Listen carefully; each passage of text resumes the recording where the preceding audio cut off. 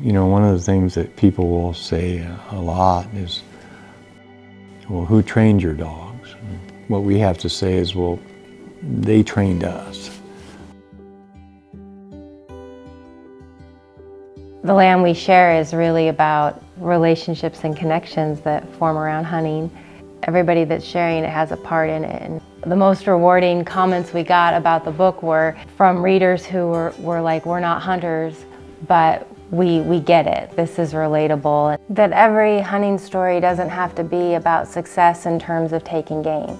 That a lot of times ethical hunting is about so much more than, than just the end result. A lot of what we were interested in was telling those stories. What is the life? What is it like at home with the dogs? What is the whole picture? I mean, that's a big part of this book is, is lessons from the dogs. Everything that humans need most right now, dogs are really good at. They've got pure enthusiasm, have little kid joy at everything.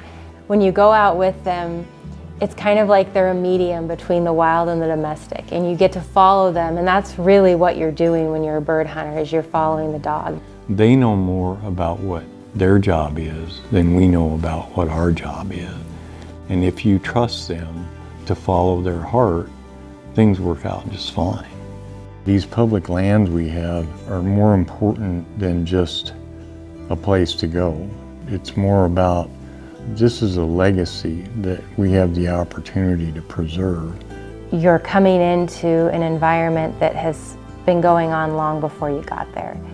This is probably the last place to get it right. And for me, I think that's what Alaska's public lands legacy needs to be.